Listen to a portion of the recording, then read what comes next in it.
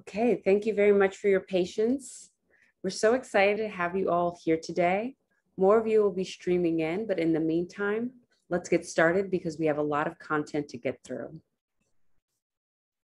Hello and welcome. I am Hafiza Rashid, the Senior Advisor, Communications and Outreach at the King Baudouin Foundation, United States. It's great to be here and thank you for taking the time today to attend the final episode of our October series on digital marketing. For those of you who are unfamiliar with KBF US, please allow me a brief word. We enable US donors to support their favorite causes overseas. We also provide European and African nonprofits with cost-effective solutions to raise funds in the US through a tool we call an American Friends Fund. We have over 450 American Friends Funds, including the University of Nairobi in Kenya and our Karolinska Institute in Sweden, among many, many others. These funds save nonprofits in Europe and Africa the trouble and expense of setting up their own 501c3 public charity and KBF US handles all back office administration, including tax receipts and donor support. So if you have donors in the US, feel free to reach out to me and we'll be happy to assist. And by the way, if you have donors in Canada or in Europe or in Asia, feel free to reach out as well, as we have partners that can help you with donors in these countries and regions. Contact information will be made available following the webinar, and this session is being recorded. I'd now like to introduce you to Liz Ngonzi and Kat Murphy. Thank you so much, Hafiza. Um, I'm so thrilled to be here. Happy Monday to everybody. Um, Hafiza, I just want to let you and the uh, KBF US team, as well as the Giving Tuesday team, uh, to know that how much I'm grateful for the opportunity to develop this series with all of you. And Kat, thank you so much for joining us. I know how early it is for you being in Chicago. Everybody, welcome and thank you for joining us and taking the time to learn with us. For those of you joining us again, we're very happy, happy to have you with us again. Please feel free to share your questions in the Q&A. For those of you whom I've yet to meet, I'm the founder and CEO of the International Social Impact Institute, which I founded last year seeking to level the playing field for social impact leaders and organizations uh, from and serving communities of color and historically underserved and marginalized communities across the US and around the world by providing access to the resources, knowledge, and networks that will enable those leaders and organizations to thrive despite the various obstacles they've so very often encountered. We've been doing so through initiatives such as the Digital Storytelling and Fundraising Series with King Baudouin Foundation US and Giving Tuesday, and others with Civicus Global Alliance, Nelson Mandela University in South Africa, and the Resource Alliance in the UK, among others. I should note that I'm also an adjunct assistant professor of fundraising in the Center for Global Affairs at New York University, for which I've recently developed a professional certificate program in digital fundraising and in which I teach two courses. I'm pleased to introduce you to my fantastic NYU colleague, Kathleen, Kathleen Murphy Toms, who is also the director uh, of digital strategy at Giving Tuesday, and who last week miraculously pulled off the seemingly impossible, the all day 2021 Giving Tuesday Summit that attracted 10,000 registrants and is in which I was fortunate to present a session alongside representatives from major digital platforms such as LinkedIn, Facebook, MailChimp, Twitter, Zoom, and others. Kat, please tell us a little bit about yourself and welcome. Thank you. I'm so glad to be here. And that was an absolute whirlwind. I'm still amazed and forever will be. Um, I'm Kat. I'm, as Liz mentioned, I'm the Director of Digital Strategy at Giving Tuesday. And before joining the Giving Tuesday team, I directed communications at my statewide philanthropic association. We were an association of all nonprofits in the state of Illinois, uh, and I supported them in various ways between uh, training on digital communications uh, primarily. Before that, I was a field director on Barack Obama's 2008 presidential campaign. And these days, I study digital tools, their implications for things like movement building, uh, and I teach community organizing to NGOs all around the world, including, as Liz mentioned, uh, at New York University come spring when my first class starts. I'm so excited and thrilled and grateful to Liz for everything. Pleasure to be with all of you today. Thanks for having me. Thanks, Kat. We're psyched to have you with us as well. Um, you know, before we respond to the questions that were submitted through the survey tool, and then the questions that you, all of you are submitting through the Q&A section, we'll provide you with a bit of an overview about Giving Tuesday because we recognize that for some people, this is really completely new. Um, some of you may have seen my presentation during the Giving Tuesday Summit, and you may recall that I began by sharing that the first time I ever presented about Giving Tuesday to an international audience was, in fact, in December of 2012 during the Eastern Africa Resource Mobilization Workshop in Mombasa, Kenya, hosted by the Kenya Association of Fundraising Professionals. And during that time, I indicated that it was such an excellent way to catalyze giving for the social sector during the giving season, right? So even though um, there may there you know Thanksgiving is a holiday that that anchors Giving Tuesday in the U.S. Uh, and isn't necessarily the case in other countries. That doesn't matter. We're actually during that period is a real giving season, so that we really need to figure out how to capitalize on that. I've since shared about Giving Tuesday around the world and spearheaded campaigns, including for um, Africa Tikkun, for which I, recent, I previously served as USCO, and integrated Giving Tuesday into a larger giving and advocacy week we created called Mandela Legacy Week, which culminated in our um, commemoration of the passing of our great chief patron, Nelson Mandela. Um, for those of you who are unfamiliar with it, Giving Tuesday has inspired millions of people worldwide with a vision of a global culture of giving that transcends generic monetary donations and encourages simple acts of kindness and generosity capable of putting smiles on people's faces. According to the 2020 Global Trends Giving Report, 17%, yeah, the 17% of global donations in 2019 were made on Giving Tuesday uh, for nonprofits that seek to solve society's problems and offer help to the marginalized, an ability to incorporate fundraising models like that of Giving Tuesday to engage supporters and donors is crucial.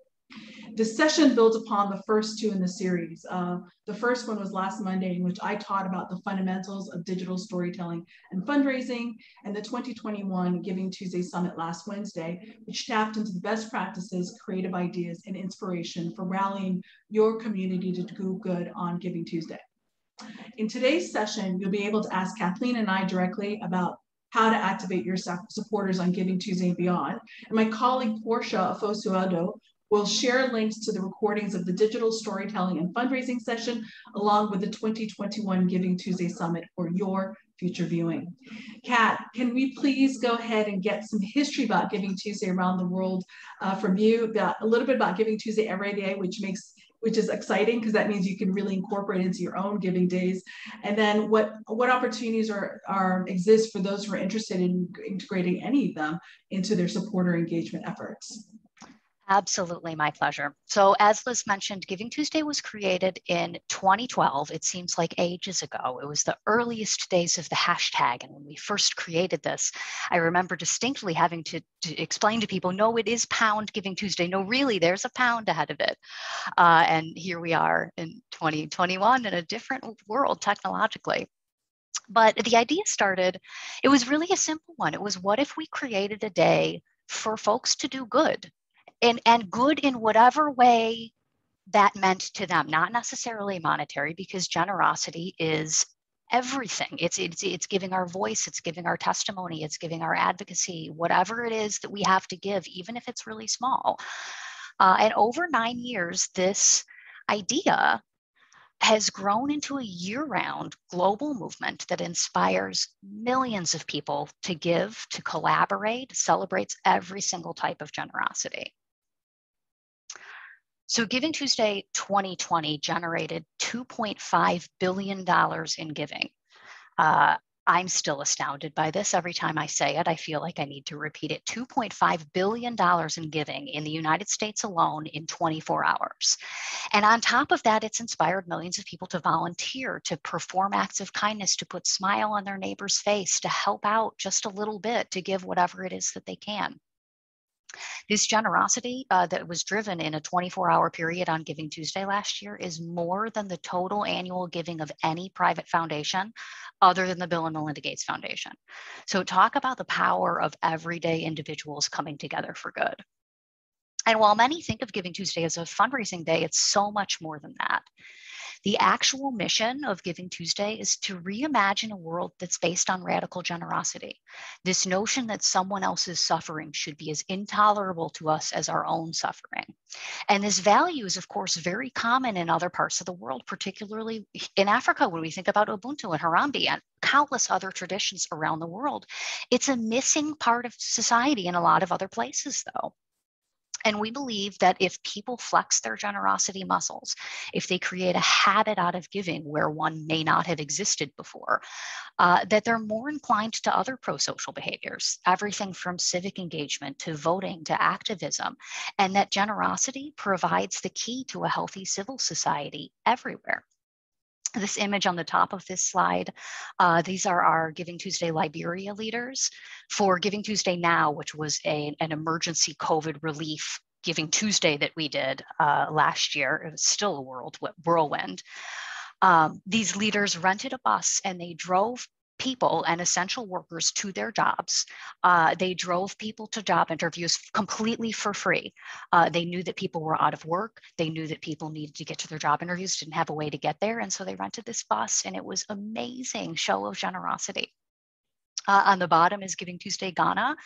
Uh, for Giving Tuesday Now, they organized a delivery of food and water to those most in need in their communities. They organized loans for the unemployed, uh, and they started to create digital solutions for spreading awareness about COVID 19 and ways to prevent it.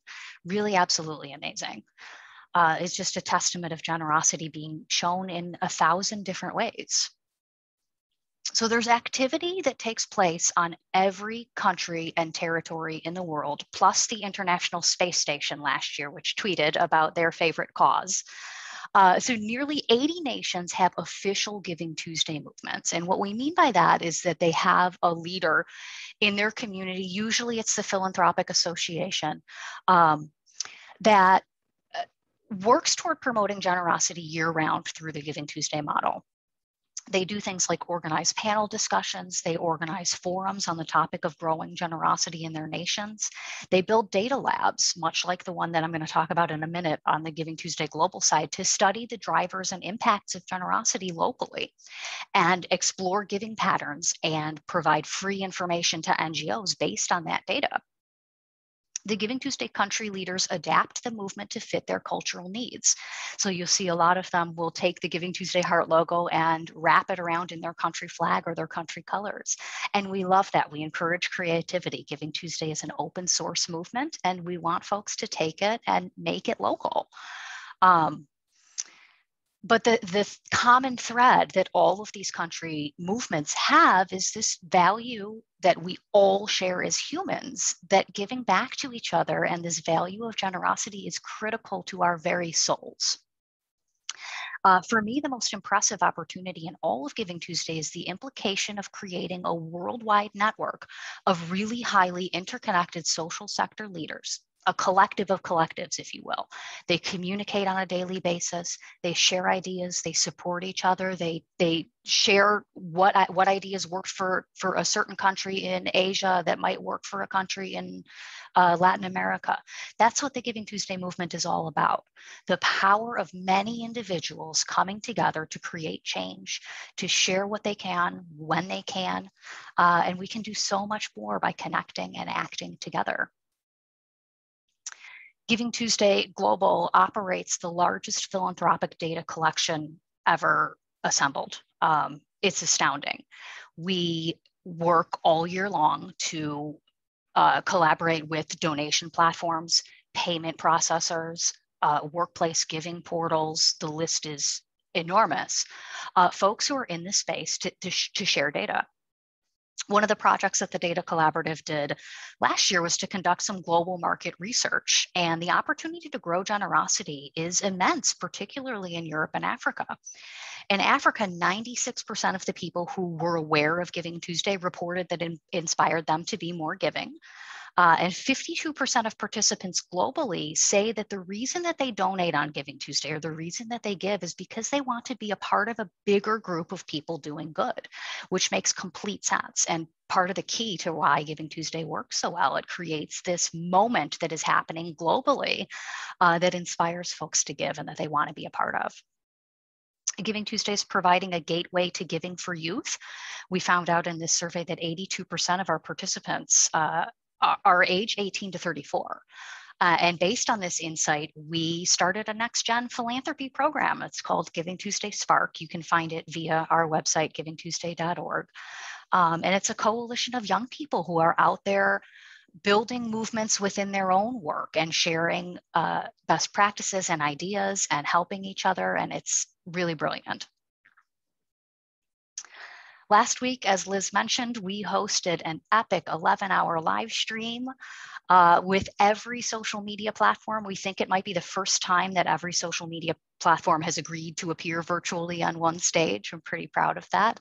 Uh, and they came to share best use of their tools, not just for fundraising, but to build movements for your cause that's what social media is all about. It is about rallying your people to do a variety of things, not just fundraising. Um, platforms like Canva and MailChimp joined us to share best practices in design and email uh, marketing, respectively. And they also shared uh, some really great links to free tools that you have available to you. Uh, so do check it out. Uh, there's a link here where you can access it. You'll get a link later on too. Um, it's a long live stream, but we've got it divided up so you can pick which sessions uh, work for you. Uh, and giving every Tuesday. We had an idea early this year that what happens if Giving Tuesday becomes every single Tuesday? This is about flexing those generosity muscles. And so we created a campaign called Giving Every Tuesday. Each week has a different theme. Uh, so some of them might be uh, literacy or helping animals or advocating for disability rights. Uh, and there's a little mobilization that happens every single week. So we'd love to join, we'd love for you to join us. Uh, you can share, you can collaborate with other organizations around the world on a variety of topics and help move the needle on certain causes that are really uh, prescient and uh, critical to all of us. You can find the schedule uh, at givingtuesday.org. Uh, apparently Giving Tuesday is coming in 50 days. And so I'm going to have to make a new schedule for next year. Uh, but make sure you're on my na- mailing list so that you can get access to all of those goodies. Uh, thanks, everybody. I appreciate you obliging me uh, and taking a moment to share what the Giving Tuesday movement is all about. Thank you, Kat. Uh, so amazing. Congratulations once again. I mean, 10,000 people and all of the platforms, right? It's like, wow. yeah, amazing. I'm still, I yeah. still have to pinch um, myself. Yeah, and I was watching myself. I was taking copious notes. Uh, I, you know, I was in some of those sessions myself, and I was just like, "Wow, this is such a rare opportunity to be able to learn from the platforms directly."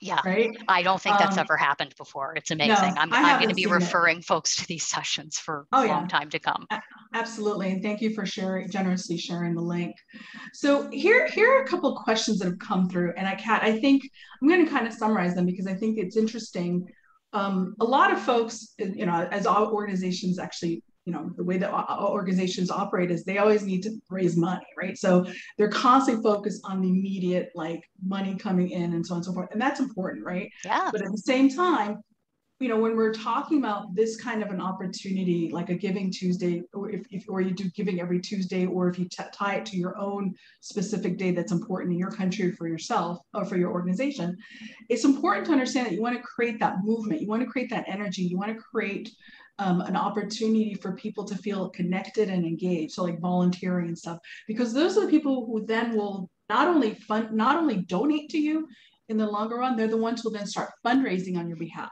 Exactly. Right? And, and those are the think, folks who are more likely to do that. So if you can bring them in in a different way other than first asking them to donate, that's ideal. Right.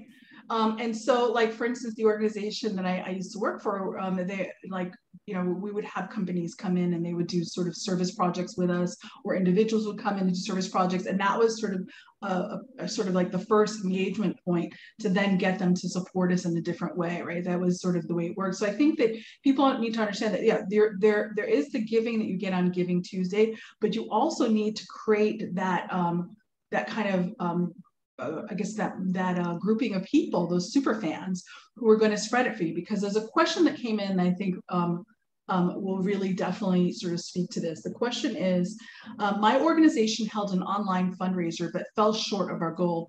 We only got a few donations. It did not go viral. How do we create a viral campaign that raises a lot of funds? Here's the first one, and it's related, is my organization has tried crowdfunding, but it didn't work. What are some of the common mistakes that organizations make? So I think they're interrelated. So I'd love to hear from you because you are the movement builder queen.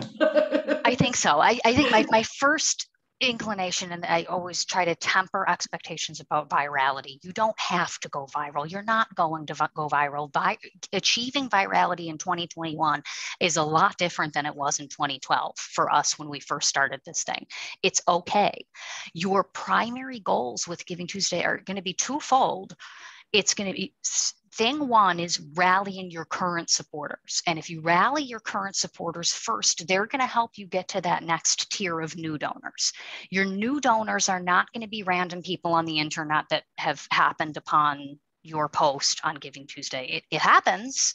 It's not the most likely scenario. The most likely scenario is that you are asking your best donors, your best advocates for your cause to organize a fundraiser on your behalf. And then they can do that on Facebook, they can do that on a number of platforms these days.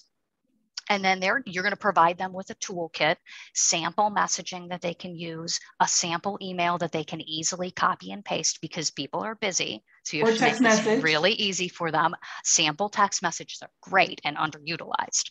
Uh, to get the word out about your mission and your cause to their friends and followers and, and network. Um, and they're going to do this on their Facebook, on their Instagram, on their LinkedIn because each of those have different networks, as you and I know, each of us have different groups of people on different platforms. Uh, but the key is to provide a toolkit to help them do that. Some organizations will put their peer to peer crowdfunding helper crew on an email list, on a Google group, on a Facebook group, even just a private group, to cheer each other on, to remind folks to start posting about the opportunity. Um, and that's what's going to help you get to those next round of new folks. Right, exactly. So you've got to leverage the, the power of your existing network and your super fans yep. to help introduce you to their network uh, and then spread it, right? So it's not about you doing the heavy lifting as the organization. It's really about you uh, catalyzing those people who really love you already, right? Whether it's your volunteers, um, it's your uh, existing donors, your employees, beneficiaries, right? The people, you know, if you're, if you're, in a situation where that's a possibility to do that. Because we used, when, when, when I was with Africa Tikkun, we actually created giving, part of Giving Tuesday was giving um, tools to our junior boards. We had high school students yeah. on our junior board. So they weren't necessarily going to go and get the larger do- donations, but they could definitely go ahead and rally their friends and their families and so to support the cause on that on that particular day. Absolutely. So give them a sense of purpose and a tool if you have young people to rally, do it. They love, uh, they love doing stuff like this, and they can. Uh, I've had organizations have young people help them out on their social media when they're really low capacity, one person organization. Find a young person, they love it, they're brilliant, they're creative people, uh, and they can help you. Right. So, so I, I, think that's it. I think that's a really important thing. I think another way to um, also sort of um, capitalize on Giving Tuesday is not only just leveraging or, or um, activating your existing base, but it's also trying to find a match. Because if yeah. you have a match, right, that that that's only available that particular day, that creates a sense of urgency, yep. and it gets people, a, you know, way to rally around your your um, receiving that match, right? Because the thing is, if you don't get if they don't if you don't get to the whatever that goal number is, then you don't get the match. But people want to feel like that they helped you to get there's lots of different right? ways to organize those and you can organize one of those on your own you don't have to wait for some ah. major corporation to come in uh, with a match. That's not the way to go. You want to organize it yourself. Uh, We have a toolkit on givingtuesday.org for just how to do this. Many organizations will pool a fund from their board or from their from their junior board, from a couple of sponsors who. What happened often last year was folks would have uh, sponsors for their uh, galas and their events and things, and then the event didn't happen, and they were at a loss about what to do. So what they did was pool that was ask those sponsors, "Hey, would you instead pool together a match fund for our Giving Tuesday campaign?" And it was brilliant. Right. It doesn't have to be a lot. Any little incentive uh, is enough for a donor to click through that button today as opposed to tomorrow when they might forget about it. Uh, so matches are a brilliant tool Yeah, no, great. Thank you. And Portia's going to send a give you a link to that um, toolkit. But here's the thing that like when you said it, I went like about the calendar invite. Like, what's that? That's like the easiest thing you can do to get your super fans to just kind of rally around this really simply, right? So can you share? This? It is. I was just like, why did I think about this? With everybody, everybody reacts the same way. Um, think about your daily life, right? Uh, yeah. I don't know about you, but if if something is not on my calendar, it's and it's showing you my calendar, uh, it's not happening. So put Giving Tuesday on your supporters' calendar. You might have different calendar invites for the people who are going to do peer-to-peer fundraising for you and a different calendar invite for the folks who you want to give to you. Uh, but send put put it on their phone. It's Giving Tuesday. Please support my organization and put a link, a direct link to your donation platform, to your, your donate link, which is ideally mobile friendly, which is maybe something we'll talk about in a minute. Um, it will notify your folks at whatever time it is that you set to give to you. At, at bonus points, you can put a, a, a click to tweet link in the description to ask them after they've given, please share this opportunity and tweet about it and help us build a thunderclap clap and build momentum uh, to spread. I remember thunderclap. I miss thunderclap. I, yeah, I, me too. They were I actually really do. in my WeWork office, which is kind of funny. Uh, I, I still refer to it because I can't find it. I don't think it exists an alternative no. to Thunderclap. So no, it's, it's us creating our own right, Thunderclap. Exactly. And this is how we do it. We put it on our folks' calendar uh, and then they will help amplify our causes. So, um, practically but, speaking, how would you do? Sorry, because I know some people are going to wonder like, so what does that mean? Put it on the ev- calendar? Do everybody asks me email? This. We send it. Like, what do we do? You, you can you can do it the same way that you send a meeting invite. If you do it on Outlook or if you do it on Google, the key though is that you want to make sure that you be you check that box that says don't show all of the email addresses because your, your donors don't need each other's email addresses. That's really bad. Uh, just Very make bad. sure that you check that button. It would be like BCCing all mm-hmm. of those supporters, right? So just be careful about that. There's another way to do it, uh, addevent.com, and I think it's called Eventable. Addevent.com is one that I use on Giving Tuesday's website. That one will give a link and it provides a little drop down so the user can select which, which type of calendar they use if they're an Apple user or an Android user or Outlook or all of the types of calendars. That's a possibly safer way to do it because the user's clicking uh, on that link. If you do it that way, you can set it up to where it will uh, send them notification, uh, pre-notifications ahead of time. You can set a reminder for two days ahead of time, a reminder for one day ahead of time that it's coming. Uh, addevent.com is your friend. It's inexpensive. It's not free, but it's inexpensive. Okay, great. So someone asked, what's a match? And what, you know, can you make a definition and an example? What's a match? So a match can there, there are lots of different ways that you can construct a match, but the idea is that that you're able to say to your donor, "Hey, if you give today, uh, perhaps your match donor wants to be anonymous or perhaps they want to be named, such and such company is going to match your donation 100% or 50% or even 10%. Uh, we've done a lot of research on matches, and it turns out that a 10% match is just as effective as a 100% in getting that donor to go take that next extra step and actually click that button. It doesn't matter how much. So it could be a fund that you're pooling from your major donors, and you're going to tell people that uh, their matches are going to be matched 10% uh, if they give within the next 24 hours. You could organize it where we unlock the match if we raise a certain amount of money from our everyday givers. It could be we have a goal of $5,000. If we hit $5,000, our pool of friendly, wonderful, generous supporters uh, will give us an additional $5,000. There's a, a bunch of different ways to organize it and, and in my experience, the funder, so the funders for the match like that because then they, they can, they double their impact, right? Yep. There's that that sense that, and so there there's something there's exciting about something exciting about that for them to be part of that with you. So um, that's a great example. Thank you. Um, and so we're a couple other questions. Um, Thanksgiving is you know uh, is not is not a known holiday in my country. What are some examples of countries lo- lo- leveraging local holidays to spur, spur giving? So most countries do Giving Tuesday on Giving Tuesday, that third uh, that third Tuesday after in November. It's the second Tuesday after Thanksgiving. Um, most do it that way. The one country that does it differently is Giving Tuesday India. They have a long-standing global tradition called Daan Utsav. I'm probably butchering that and mispronouncing it, but it's it's very similar to Giving Tuesday. It's a week-long celebration where folks go out and do what they can in their community. And so our Giving Tuesday India leaders said, "Hey, actually, it doesn't make any sense for us to do this the same time that y'all do it. We're going to do it in October. Uh, so we, we get two Giving Tuesdays each year, right. which is great. Um, the date doesn't really actually matter. Uh, we could have chose any date at all, but now it's just become tradition that is this, it's this one particular Tuesday per year. Uh, but we're pushing for it to be every Tuesday. Like, what does the world look like if we have Monday motivation hashtag and Wednesday wisdom hashtag? Well, Giving Tuesday can be the hashtag for Tuesdays, and we can all wake up thinking about what sort of small action we can take in our community to improve it.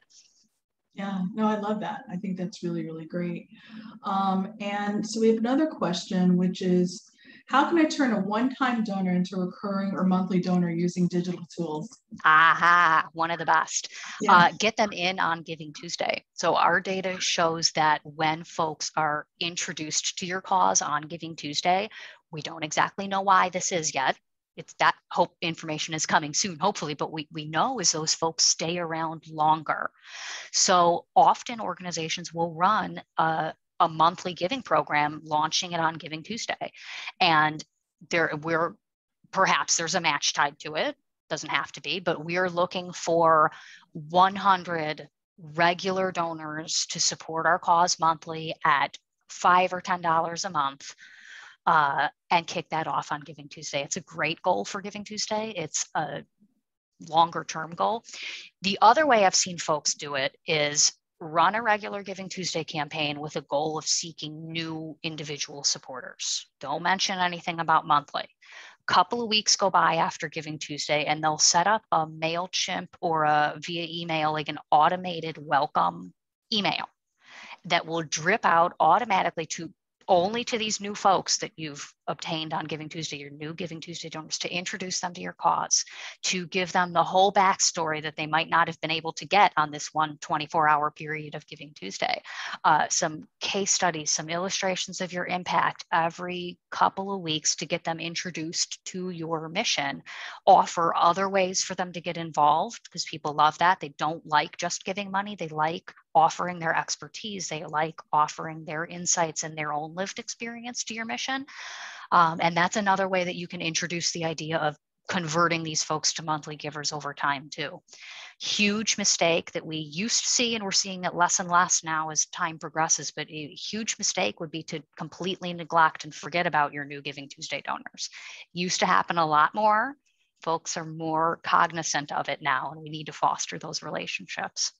Right. And the other thing is, given the timing of Giving Tuesday, you actually could tie in messaging around getting people to start giving you on a monthly basis beginning of the year, right? So new yep. giving habits, new year, and really kind of um, tying that all together. I think that that would be really powerful. But here's the great thing too, is that, you know, asking someone to give you thousand dollars one time versus giving it to you over a period of time or hundred dollars, whatever it may be, it's a lot more palatable when you, somebody you say, say it's just, you know, just for a, a cup of coffee, you know, every month or whatever it may be, you can help us to you know solve this particular problem or to address this particular challenge. So there's also the messaging around that and people who may otherwise not feel comfortable giving you a seemingly a larger amount on that one day would feel more comfortable engaging with over the year over over the year. But it's also important that you're not just you know kind of waiting for them to to to to to, to, to give you that funds but you're also reporting throughout and yes. sharing with them like keeping them inspired giving them opportunities to get involved in other ways as well so, um, okay, so here's here's a question. Um, we only get a few. We only get a few small donations online, typically under $50. Uh, most of our funding comes from large grants from foundations and government. Why is it worth it to spend time developing online fundraising when the gift levels are so modest? Well, diversifying your funding streams, right? Yeah. Yes. Um, you don't know if or when those government funds are going to go away uh, frankly, and you need to be careful of that. Foundations, God bless them, but they make strategic decisions sometimes and they cut programs and they cut funding and they move on to other new shiny missions. Sometimes they do that. Uh, so it's critical to diversify your funding streams, but your supporter streams in general. There's something to building a movement for your cause amongst everyday individuals. It's empowering for not only your staff and your organization, but the people who you work for, uh, your clients, everyone involved here. Um, and you can do that through donations, but you can do that through building a grassroots movement for your cause online. People who support you in other ways, people who share your mission, uh, people who are out there volunteering for you and out there uh, at mission every single time you ask. Yeah, I no, I agree hundred percent. And and you know something that's also important to note is that um, you know, just because someone comes in as a $5 donation, right, a $5 donor at one point, doesn't mean that that's where they end up, right? It's important for you to start understanding, engaging with them to understand you know how else you can inspire them to give more. But here's the thing even if i may be a junior professional or i may not necessarily have a lot of money to give but if i work for a company i'm i would be eligible potentially to give to donate to you and have my company match that donation right? So you've got to understand the lots of the, the different ways that you can then connect with with you know folks who come in at a, at a smaller amount right? Um, so that's one way is to, to, to be able to get the match from the company but then um, you can then get them to volunteer. And there are a lot of companies that will give to you if their employees volunteer with you, right? So yeah. it's just understanding that the lifetime value of that donor and not trying to just get that one quick donation in and out. Yep, that's that. You're you what you're gaining is that five dollar supporters network and their expertise and everything else about them. Now it's not just that five dollars. And if you foster that relationship well, it can unlock a lot of doors. Absolutely. And those, yeah, those could be, and the thing is, you want to get people to fundraise on your behalf, right? So yep. even if I don't have more than five dollars, I may have a network that can, yeah, know, I can I, I, can activate to support you beyond that and get the word out and signing petitions and, and, and so on and so forth. So so I think that's good. Um, here are a couple other questions. My board is skeptical about investing in online fundraising because the gifts are small. What are the other different, what are the different ways of measuring a successful online campaign? Fundraiser besides dollar amounts? Um, new donors, uh, re-engaging previous supporters, engaging monthly donors, engaging a thousand other different communities and, and who and who it is that those networks grow to exponentially. Um, there's a lot of different ways to look at it. Yeah, um, I agree. Okay, so um, my organization has limited budget. Can you share some names of platforms that provide digital tools? For instance, uh, automated emails for free, free Photoshop of pics for different platforms. Oh, oh, oh. pics, that's Canva. Yeah, and uh, okay, low, I have two things for you, Canva. Low, no cost or no way to set up, wait, low cost or no cost way to set up credit card portal. Okay, I have all of those things. Right. Give Lively is a really great fundraising platform. Mm-hmm. I have to say that the, the person who invented or is the CEO of Give Lively is on Giving Tuesday's board, but we actually really think this is a really brilliant website and would be recommending it anyway. Um, it's 100% free. Uh, it provides mobile friendly giving, which you need to make sure that you have, especially these days. If you introduce any barrier whatsoever to giving to your organization, it's not going to happen. Somebody, you want to create as little space between that first, that person being inspired to press that donate button and them actually typing in their credit card number, that should be minimal space. You don't need their mailing address right now. You don't need any, you don't need their t-shirt size, any of that. You use all that as an opportunity to reach back out to that donor later on to gather that information. But you want to slim down and create as frictionless as possible uh, donation experience for your donor um, free graphic tools and photo tools, canva.com. I'm going to sound like I'm a commercial for canva.com, but there's no better tool. We have canva.com. We partnered with canva.com to, if you go to canva.com slash giving Tuesday, you're going to find a whole bunch of free pre-packaged Giving Tuesday templates that you can use. Uh, and you can insert your own photos. You can switch it to your own colors. You can um, do all kinds of things with these uh, these tools. But Canva is an unbelievable tool. They have a program called Canva for Nonprofits, and you get a whole bunch of other tools for free to you. There's Canva Pro, which most folks pay for. You don't pay for that as an NGO. Um, I'll drop the link in here. The, the link the link to that is on the Givers and Friends Summit page too. All of these things that I'm mentioning are there. We also partnered with Pexels.com this year. They helped us curate a, a really great bank of stock images for changemakers. There are pictures of people giving that you can use in your graphics and your uh, materials for giving. Is it like pixels, but P A? Paxels, P E X E L S. I'll find okay. a link for you somewhere. All right. Portia can look Portia can do that for us so we can Yeah, she's been, but she's been actually uh, copying, um, posting for us right now. Portia's Thank you, Portia. It. Yeah, like totally on it. Thank you, Portia. Um, and let's see. Uh, all right, let's see what else. What, what is match? I already got that. My board is skeptical. Um, okay, my organization is great about inviting people to visit our museum, see our exhibits. Um, how do we use digital tools to make supporters abroad feel connected to us? Zoom. Zoom. So many great campaigns this year, these past couple of years, because we couldn't do in person events. And so folks would translate their Giving Tuesday events or other fundraising events into a virtual experience. So, how cool is that if you can show someone from around the world what it is you do on the ground. Uh, so I'd see folks just, and they would just stream from their phone or live streaming. You can the power of the device that's in your pocket is really immense. Folks would live stream on location. Sometimes they would interview clients you have to get their permission of course um, they would have their ceo come on and talk about why the mission matters so much to them they would have a, a slew of supporters come on and talk about why they're why they get involved with their mission and how it is that they get involved with their mission there's so much you can do online it, it blows my mind every single time.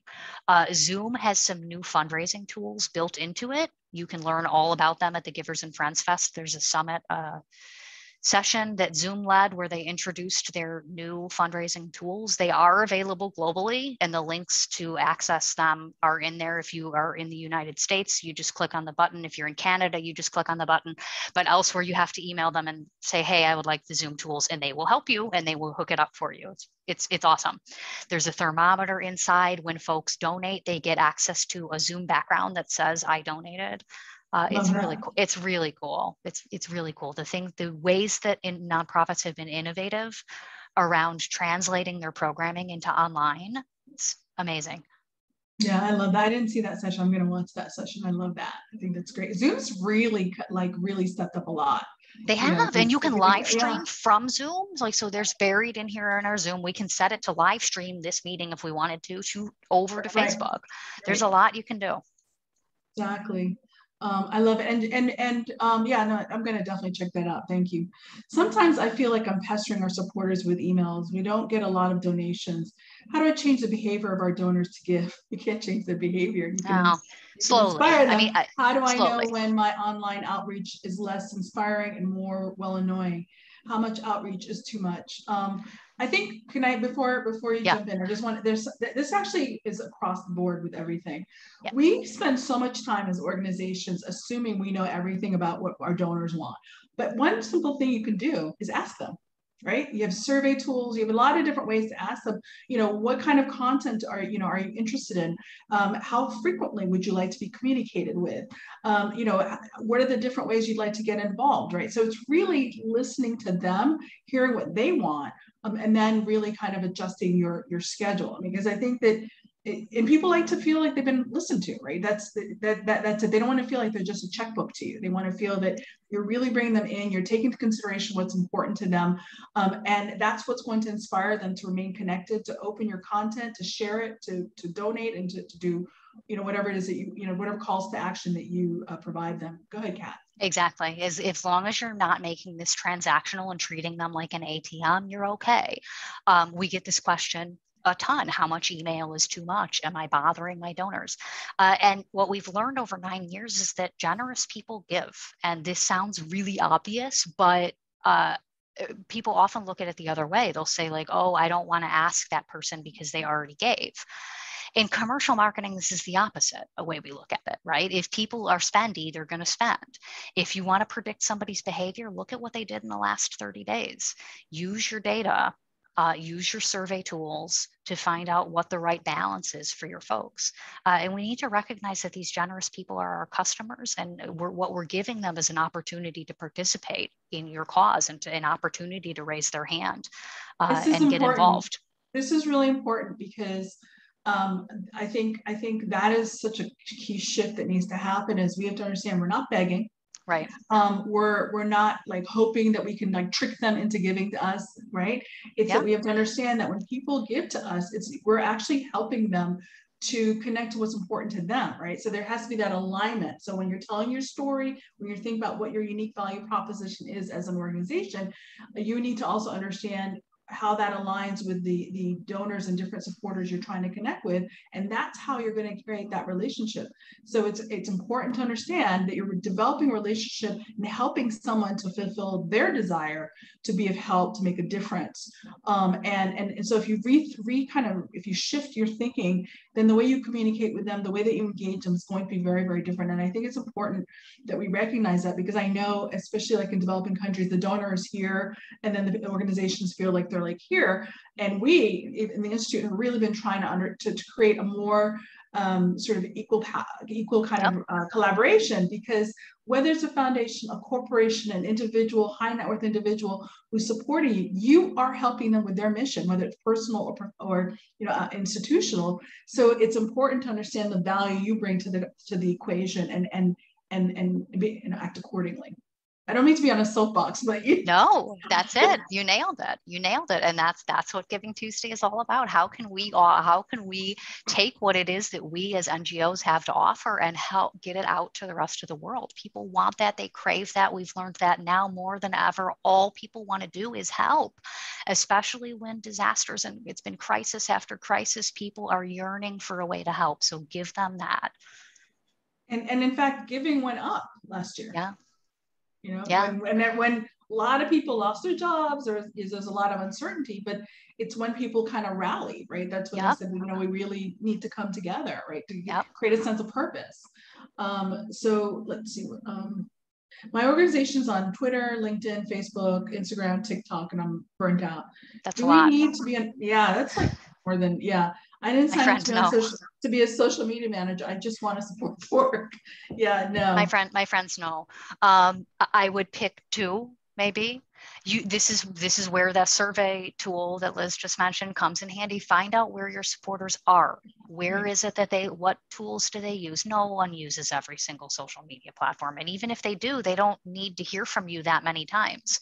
Find out which of those platforms your folks use and focus on those. Maybe maybe you have an internal goal to uh, bring more young people into your mission. Perhaps you might use TikTok even though you don't have an established base there yet. That might be a case for you introducing a new social tool. But in most cases, just pick the one or two where your most of your folks are. Facebook seems to be a great one. LinkedIn seems to be a great one, but it, it depends on your situation. I'm on every single social platform because we're big and our goal is to actually reach everyone in the world, your goal is not that and it shouldn't be that.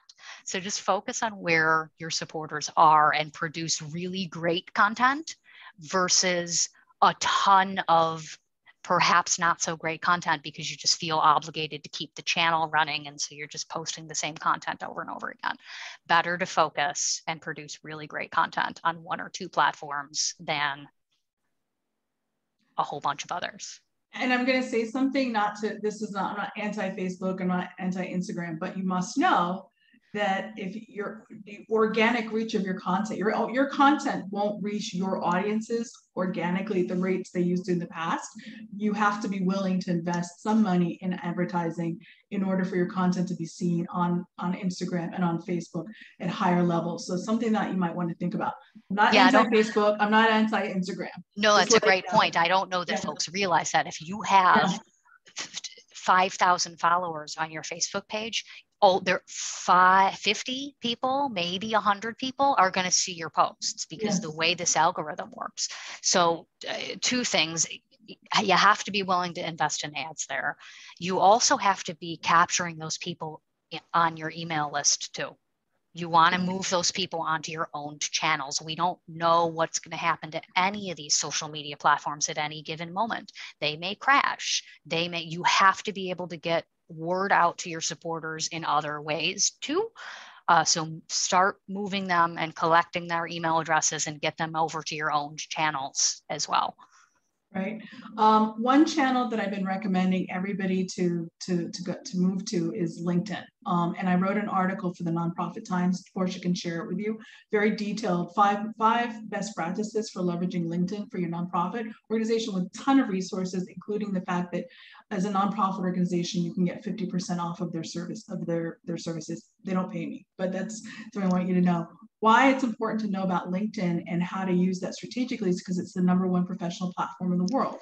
So if you're trying to engage professionals, if you're trying to engage some of these institutions that may not necessarily, like foundations that may not necessarily have a Facebook page, but they may have a, um, a LinkedIn page, not Facebook, but they may have a may not have a website, but they may have a LinkedIn presence, and that will help you to connect with them much more easily. So it's something that I'm 100% pushing um, organizations to really think about very seriously, and not only creating those pages, but making sure that their employees are all connected to that page, so that when um, when you're trying to kind of get people you're trying to get your message out your your employees can and, and board members can share your content but it also enables you to reach a larger audience when you're conducting research um, when you see that you have a, a, higher number of people who are connected to your page you'll be able to see where the connections are with you know foundations and people in, in other organizations. So 100% linkedin is a platform you must consider um, okay, so that, wow, the questions are coming through. Let's see. My um, last week, Facebook and Instagram crashed during our, a critical online campaign. How can we guard against the vulnerability of these huge platforms? I know. I'm, I mean, I'm so sorry. This happened two days before my 11 hour live stream. Um, yeah. And I'll tell you why I wasn't worried about it. I wasn't worried about it because I use Restream and my intention was to broadcast it amongst every channel that I own and also embed it onto my website. So I guess backup plan, backup plan, backup plan. I don't think I would ever recommend to somebody that they only stream on uh, Facebook. Now that said, if you're using Zoom, I believe you can only pick one place to stream to. So I like I like technology like StreamYard. I like Restream that can cross broadcast uh, your productions and your live streams because it's beyond our control and these what platforms can go away at any time and then second thing would be make sure you collect all your people like i said that you need to make sure you have these people able to reach them in another way besides just facebook or instagram. Someone asked what restream is. So restream and streamyard are platforms where um, where you can create up like a virtual um, uh, studio. Uh, and so the two of us can be presenting content to you um, and streaming to lots of different platforms so that you're not just dependent, you're not just streaming on one platform, you can stream on multiple ones. But go ahead, Kat. Simultaneously, yeah, simultaneously. simultaneously. It's like no work. It's a couple, you press a couple of buttons in the beginning to set it up, uh, to attach all your accounts. So I broadcast our summit to Twitch, which was great. I had never used Twitch before. I'm a big fan. Uh, you can broadcast to Twitter, you can broadcast to Facebook, you can broadcast to a hundred other platforms that I don't even know YouTube, exist. YouTube, um, LinkedIn. Um, YouTube, LinkedIn. LinkedIn, if you have access to LinkedIn live, live. streaming, yeah, which yeah, is a yeah. little bit of a barrier that you need to get through. You have to apply with them first. Might take a few weeks. It's worth doing. Um, the link to the application is also on the Givers and Friends Fest landing page. If, I also included in the article. Good. Yeah, yeah it, it, no. it's worth because it takes them a while to to click the buttons and approve you or whatever, but it's worth it. Um, yeah, cross broadcast, have backup um, plans so that you're not reliant on solely these platforms because yeah, I mean that was it's beyond bad. our control. It was bad. That I that was like, whoa, what happened? Yeah. um, okay, my organization works with communities that require anonymity. Therefore, posting photos of people and places is not possible. Sure. Right. How to craft a compelling story online without photos or messaging that can out these vulnerable people? Lots of things. Uh, this is part of the reason why we worked on developing this stock image library with pexels. Um, it doesn't, you don't have to use an actual picture of your client. You can use a stock image of that client or zoom in on somebody's hands, zoom in to another story. Look at um, Humans of New York does a really great job with this. Um, sometimes some for whatever reason the the author of the account will feel like they want to provide anonymity to the person that they're telling a story about. And that's one of their tactics that they'll use. They'll show somebody's hands or they'll zoom in on another piece of the scene. And then the caption on these Instagram posts is a beautiful, compelling, well written story about that person and what it is that their life experience was like. These posts always go viral. They're, re- they're because of the story, the caption that this person writes is so beautiful and compelling. Um, they write it in a way where you see yourself in that situation, uh, and you don't need to provide imagery in order to do that. There are ways that you can do that with words for sure. And, and you can anonymize the, the story, right? So yeah. it's not like you have to. Yeah, you don't have to name anybody. No, because we we we we work with children um, in yep. so we couldn't share their faces, um, and so that's how we did it. Is you kind of a, you anonymize it, you, like you said, the hand, or use um, stock photos and stuff. Um, that's also what we did. Okay, let's see what else we've got. Um, um, my these questions are just like this is, this is coming through. They're like uh, Welcome to my world, Liz. Yeah, I know, I know, it's great. It's I think it's wonderful. Um, I appreciate it. Okay. Um, organization works with communities requiring anonymity. Um, oh, that came through twice. Okay, that's what happened. Um, well, let me let me ask you let me ask you a question, Kat. Um, if there if we're talking about an organization that's completely you know just like one person show that has that's responsible for the giving tuesday campaign of, which is typical. Right which is typical. Which is in most cases guys. Right. What are the three simple things they can do just to even just get started with this try it out? Um, where they don't have to raise spend a ton of money. Um, they don't have to you know like and, and it's not going to require a ton of work. What what is what would you give as okay. as as sort of tips for people? Best question this is number one. Um, we made you a workbook, first of all. I will, we'll, we'll get you the link. Um, it's designed for one person shops. The, what are the things that I absolutely need to do to pull off a Giving Tuesday campaign well? First thing is to set a goal. It, make it a big goal. If it's if it's something that you lo- you lose sleep over at night, that's a good goal have big dreams. Go for it. This is once a year. Set yourself a big challenge. Um, it could be dollars. It could be i want to introduce my cause to a certain number of new donors. I would like to get build up my volunteer core. i would like to build up a core of professionals who will, will be willing to give me pro bono time over the next couple of years. Set one goal not three goals one goal for your giving tuesday campaign. Um, choose one iconic story that you're going to use to share your campaign. You might repeat this story over and over and over again. You're probably going to be tired of this story, but the average consumer needs to hear something. It used to be like 17 times, I think was the rule. Now it's like 37 times before it breaks through eh, finally. So you might be telling this story from a different angle, from a different point of view uh, you'll probably be sick of the story, but your your audience is not going to be. So so choose your theme for your your campaign, your one iconic story that you're going to use throughout the Giving Tuesday season. You can launch your campaign ahead of Giving Tuesday, um, and it's often good to do that to at least tease yes. to your donors that it is coming. So you'll want to start setting up some emails, schedule them now two weeks from hey it's two weeks to go till giving tuesday. It is 10 days to go until giving tuesday. And that template uh, canva template link that portia shared earlier has a countdown graphic uh, there that you can use to help you do that. Um, and launch your campaign now with those key audiences that you're going to want to use to help you achieve your goal and help you tell this iconic story. So you might have, we talked about this earlier, a coalition of really like hyperactive, really cheerleaders for your cause. You might have them uh, you might ask them to share your story out with their networks. You might ask them to fundraise on your behalf, but you want to start setting that infrastructure up now so that those folks know what to do and that you're not contacting them two days before Giving Tuesday to ask them to do this. You want to start contacting them now. Give them the tools that they need uh, to work for you effectively and efficiently. If you employ those folks not literally, but if you if you rally those folks to fundraise on your behalf, it makes your work a heck of a lot easier. That's the key online is rally other people to do the work. Yeah. Right. Whether it's to spread your message um, and or to donate to you.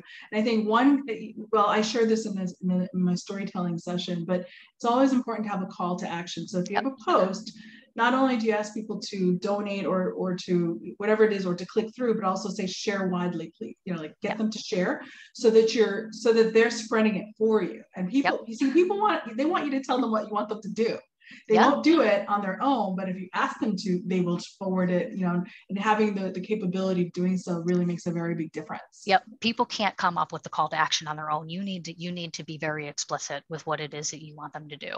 One call to action per post not 10 now it's it's a little weird because we say on giving tuesday you want to offer people a lot of different ways to get in. That's in general but not in one post you want to have one crystal clear call to action. It's either donate now and share or challenge tag five five of your friends and see if you can get them to volunteer with us too.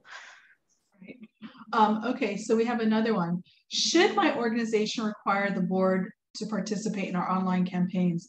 The board typically doesn't donate. Wow. Oh. Your board doesn't donate? That's well, that's a bigger problem that is a bigger problem. Now uh, a, like a much bigger problem use uh, something like giving tuesday as a challenge but yeah you're right. It, it's it's a challenge. but we need to show that existing supporters will give in an online fundraiser to encourage the others. The board is a bit older and not active online. Could you have your board pool a match challenge? Could they all could we say to the board hey we're challenging 100% of board giving. This is what we want to reach. It's important because this illustrates that we have buy-in amongst our board which is hugely important and also your investment will go farther because we're going to use it on giving tuesday to do a match for other folks and new folks and new supporters I, I'm I'm I, I got I stopped it. My board my board doesn't participate. Okay, doesn't doesn't the board doesn't typically donate. Like I'm like oh yeah yeah that's kind of a much bigger that's a bigger issue there. Your board must give like that's where it's a whole thing like that your board if they're not giving to you then why are they why are they there? I mean obviously there's some some board you can have boards that are composed of people who um, you know who have a certain reputation and that can help you to open doors to other places but if your board doesn't give you don't have that core you're in a lot of trouble that's a very core support group that an organization needs to have your board needs um, to give or they need to be getting for you some organizations yeah, right. here in the states i don't know if this is common abroad but we'll have a give or get um, and you either need to give that yourself or you, this board needs to go out to their friends and family and network on LinkedIn uh, and get that those funds from you elsewhere. Right. Uh, what are some of the key traits I should look for or recruit in a supporter that may be useful in amplifying an online campaign? We have great volunteers in person, but they're not very good with follow through. Make it easy for them this is where these toolkits that I'm such a fan of come in handy. Um, and I have a few that are on our website too, that they're, they're ready to go. These are a social media toolkit that you would take it, change it into your own language, and then ship that off to the people who are really great at volunteering, but not necessarily so great at posting on social. Sometimes they might need a little training, which is where I've had organizations build a little working group on a Facebook group or whatever and run through, okay, here it is. Here's a tutorial on, it may seem simple to some of us, but it's not to others. Uh, here's a tutorial on some ways that you can help us get the word out about our campaign. Got to make it easy for them. And if that it all all that fails, you can always tag them the post you create and ask them to share. So at yep. least you know you're creating something that's already there you tag them in the in the comments and just say you know kat liz please share yep. or please whatever it may be uh, so that it's right there it's composed all they're doing is forwarding it maybe they can just add a little note and say i'm part of this i love this organization i volunteer for them please help me to support them you know if that's yep. if that's what it takes because sometimes that's what it takes is that people don't necessarily have the time the bandwidth and all that but if it's right there in their face very easy it's easier to get them to get involved yep I've I uh, sometimes I'll set up a post and then send them the link on whatever channel uh, if I have them on text message. Hey, can you repost this? You got to make it super easy for them, or they're not going to do it. And you can set a lot of this up ahead of time, especially with like the tagging that you just mentioned. You can schedule your posts and tag folks in the bottom of the caption. So, what's something you should not do on Giving Tuesday? Well, like it's kind of meaning I, I think the first time I hear from a lot of organizations is on Giving Tuesday. I'm like, no, you kind of needed to start before then because there's a lot of noise, right? Yeah. There's a lot of noise on that day. So how how do I get like I think that you kind of said it already. I, mean, I, I think that's I think that's my don't. I think it's don't reach out to these folks on your email list for the first time in an entire year on Giving Tuesday. They might not remember who you are. They might not remember how they ended up on your email list. Back it up a little bit. Start emailing them soon. You could do it today and say, "Is 50 days to go." Go till Giving Tuesday. Here's what we have planned, and here's some ways that you could think about helping us. Uh, would you consider raising your hand to be our social media ambassador and start collecting social media ambassadors that way? Start asking your folks now how they want to engage with you on Giving Tuesday. And that's an opportunity to amplify your campaign. Absolutely. Um, everyone's talked about online fundraising, how much of our budget should we aim to comprise of online donations? It's hard to understand a good goal to try to achieve. It depends on too much yeah it, it depends it on too much. I don't know if i'd be able to offer a number on that. Um it depends i don't know where maybe if this person can write again the country they're in because like you can use like an mr mnr benchmarks or one of these reports to see like if you're like a human rights organization what percentage of of donate well i think it's donations across different digital platforms. Uh, no Blackbaud the Blackbaud um, giving report shows you the split between online and and and um, other and offline. And, offline and it's going to depend so much on your organization yeah, and how how your supporters like to give. Um, online might not be the end all be all for you. It may not. Maybe you're maybe a hundred percent of your folks really just like to give cash or write checks or whatever or give offline. Um, but all, all but see online um, in, in, in, in on the across the African continent also means uh, WhatsApp or whatever yeah. messaging platform, right? So, sure does. so folks need to think about that. So you don't necessarily have to put yourself on, you know, these other platforms if they don't work for you. So maybe mobile is the way that you want to go. Um, I wrote a piece about how to use WhatsApp um, for, for fundraising um, about a year and a half ago. I, I, think some of the content has to be updated, but um, there because WhatsApp is owned by Facebook, if you're already approved with Facebook Pay, you would that they use the same sort of pay functionality, so that sort of one-click pay um, to be able to make those donations. But let's say if you're in Kenya or one of those places, you could have like an M-Pesa link or you use one of the other links through so you use so you communicate to people through um, you know through whatsapp or whatever messaging platform and using a link to some mobile payment um, uh, uh, service. That could be the way that folks want to use this right? So i think that I want people to understand that that's what we're talking about as well. Yeah WhatsApp is totally underutilized. People love it. People love yeah. feeling like they're a part of an intimate cohort of people who are helping your organization in a big way. And if you can make mm-hmm. them feel like that uh, by being part of a WhatsApp group where they can exchange ideas about how to move the needle on your cause, they can get more inspired. And in that group, they can then forward any message that you post, they can forward it to their network, right? Yep. So up to five people directly. Um, so that is something absolutely be, that we, we should be considering. Um, and, and, and, and, and it's right there. It's on your phone. It's right, yeah. you, know, you got it. And so, and that's um, the key. Important. You have to get this stuff onto people's phones. It's right. It's on Bottom their phones. Line. Yep. And, and people are, by the way, people are already doing this for paying for when, when they're fundraising for weddings, when they're fundraising for funerals, like in their other, in their personal lives, they're using these devices. They're using this functionality. So it's just figuring out how to repurpose it for the for for an organization to be able to capitalize on something that people are already comfortable doing. Yep. The consumer sector is already all over it. I've been getting messages about products that I looked at on Instagram. It's it's amazing. It's yeah, amazing. It's, but we can do these things too. Yeah. Um, Portia, can you please share the WhatsApp article? I wrote it for a nonprofit Tech for Good. It's I think it's like three best practices or five best practices for using WhatsApp for fundraising. Um, so we'll, we'll someone asked for that article. Yeah, the primary way we communicate with our with our supporters. Wait, for WhatsApp. Yeah, they want to know about the article because that's the primary way they communicate with their supporters. The call to donate is always buried under a bunch of messages. So get to it. Ah, uh, yeah. yeah. You know, experiment. Post it often, post experiment with emojis to highlight it in different ways. Right.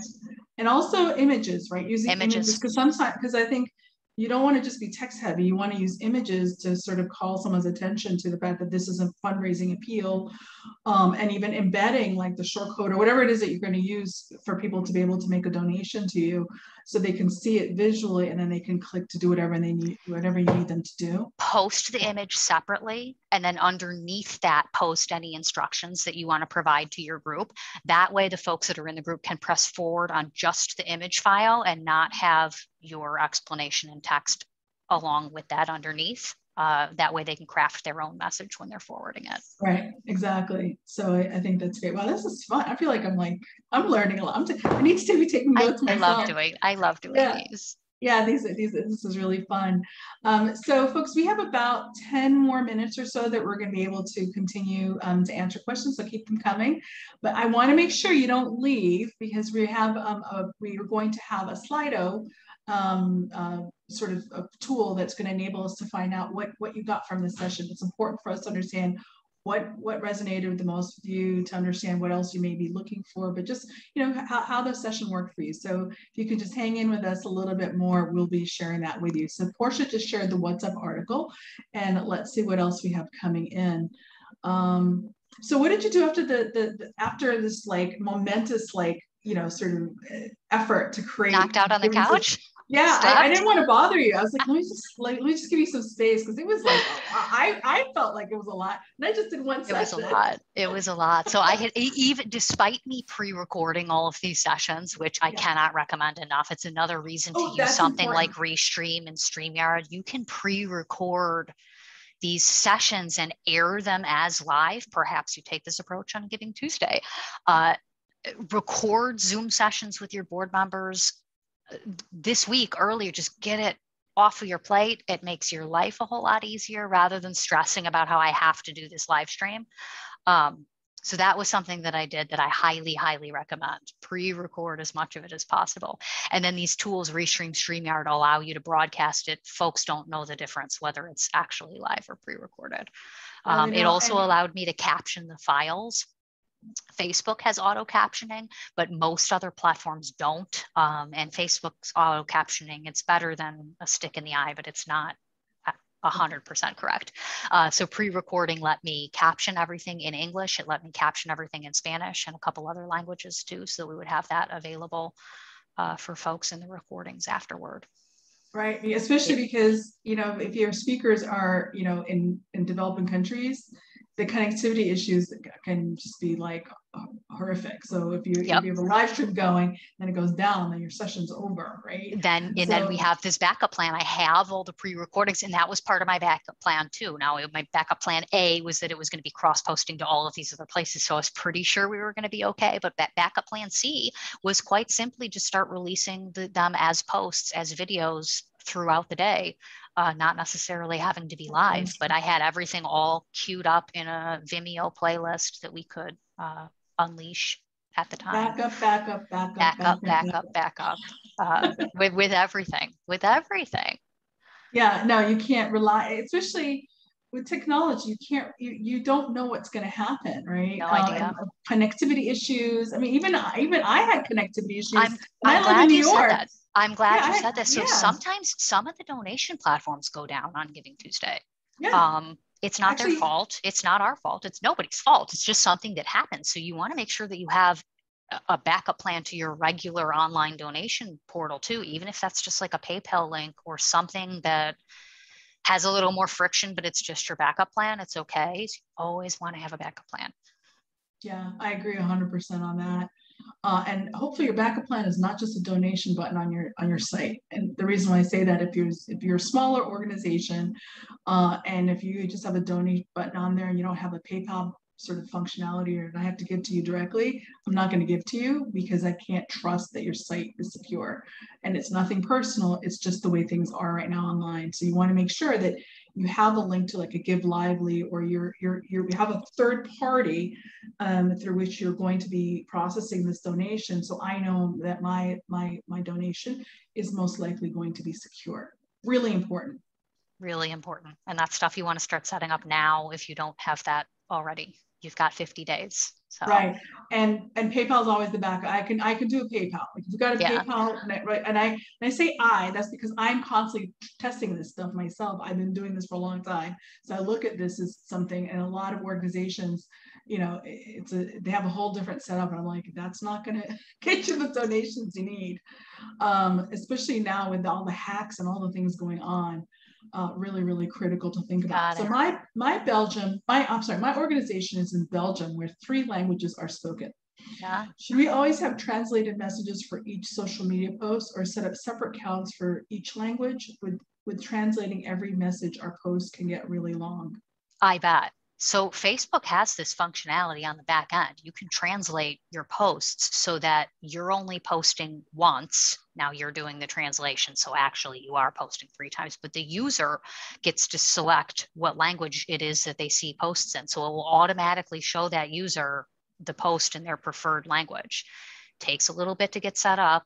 Um, and you'll have to do the translation, but it's technology that exists that avoids you having to have separate accounts. At Giving Tuesday, yeah. we do have separate accounts because we are massive.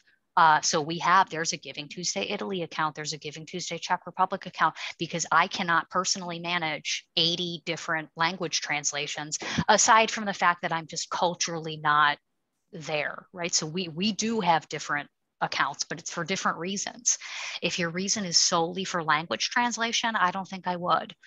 Um, oh, and, and, and, and let's say again, because remember we are talking about the fact that you're probably going to need to do some paid posts. Yeah. Um, some, some, some, some posts. You're, um, you can actually target your posts to the people who speak. You know, if, if, if you're able to, dis, to, to distinguish between one um, audience type over another, like for instance, for us, with Africa Tikkun, we were in America, and then we had a South African, um, and that the headquarters was in South Africa. We had an, um, an entity in the UK, so we could post to the different audiences. We could, you know, target to the different audiences based on geography. So you could yep. do it that way. If, let's say, in a particular part of Belgium, everyone's speaking French versus, you know, um, you know, whatever it may be. You can target the you, you can target the language they speak too there's yeah, a lot you can do on targeting on the back end. Right. Um, so, so that's. But all that to say, I don't think I would start new accounts for different languages. That's too much work for you. It's not necessary. Look at how, how some government accounts do it. Um, Canada has to post, they post everything, two separate posts. They'll post it in French and they'll post it in English, completely separate time. Uh, and the way they have it set up, the users who speak French will only see the French posts. Absolutely. Um, so that yeah that's that's that's a great one. Okay so we are um, coming i just gotten sort of a, a four minute no three minute warning before we've got to start wrapping up um, to be able to get into the um, into the the the slido. Kat leave us with one huge like what that one huge although although i gotta tell you that that the calendar invite is a thing that like blew my mind. Like, like forever is going to be the thing. Like, I'm like, how did I not? I've been doing this so long. How did I not think about most people? Right? Liz, most people mess it. Right, most exactly. people miss it. The, the way I'll, I'll tee this up in in the old days when we were in person, I would ask folks, "What do you think is the number one digital tactic to move somebody to action?" Not just on Giving Tuesday. Period. You can take this tactic and use it for anything that it is that you want to do. People need that sense of urgency in order to act, and I if it's not on my phone, it's not happening. If it's not on my calendar, it is not something that I am going to do because people are busy. So your yeah. job is to make life easy for everybody involved, including yourself.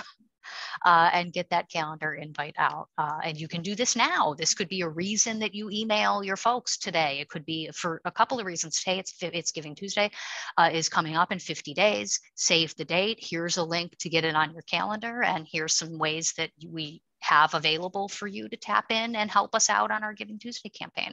Uh, and then to send a couple emails like that out over the course of the next month and a half because it's coming.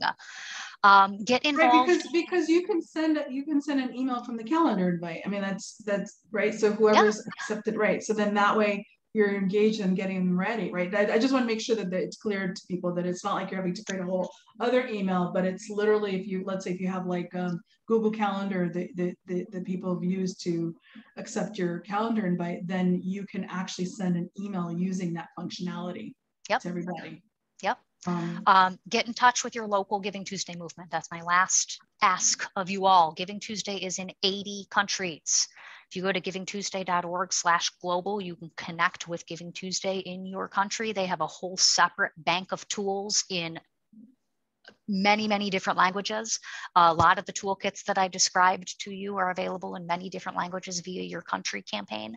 If you don't yet have a country campaign, we would love to have you. That, uh, all it takes, all it takes is somebody to raise their hand. And our Giving Tuesday leaders tend to work at organizations that have large networks of uh, philanthropic sector type organizations, but they don't have to be.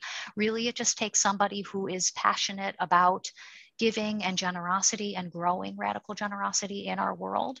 Uh, somebody who is innovative and creative and up to the task. So email us uh, info at givingtuesday.org. You can DM us on any social media platform to your liking and I'll connect you with our global lead and we would love to hear from you.